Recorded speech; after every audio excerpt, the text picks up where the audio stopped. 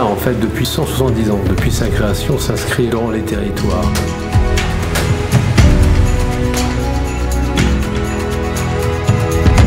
On a souhaité ouvrir les portes au grand public dans le cadre de la Journée européenne du patrimoine.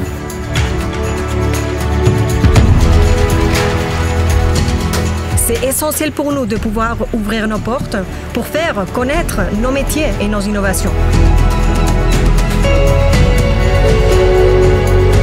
Ça fait partie de notre devoir de porter en fait les messages importants euh, en lien avec l'environnement. Et cela au travers la visite de lieux chargés d'art et d'histoire. C'est un grand livre dans lequel il faut puiser, savoir d'où on vient, savoir pourquoi les choses ont été faites de cette façon-là.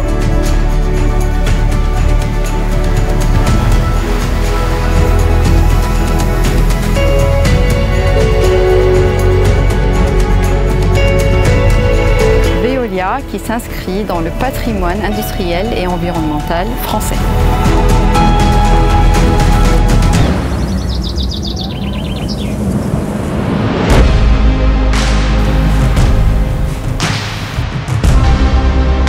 c'était très intéressant. Ouais, très très intéressant.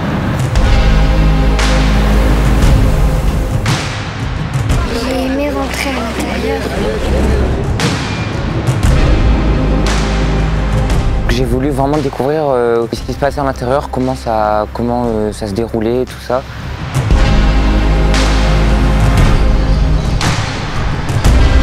Eh ben, je connaissais pas du tout le, le barrage, donc c'est vrai que c'est très, très enrichissant.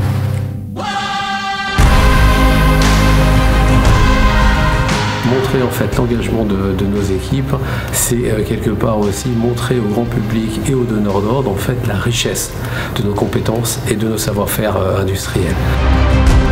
Ça s'inscrit dans, dans l'histoire euh, de Veolia.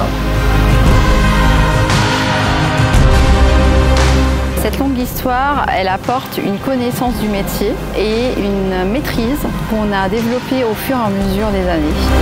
170 ans de, de Veolia, marqué par euh, le souci de minimiser l'empreinte euh, écologique.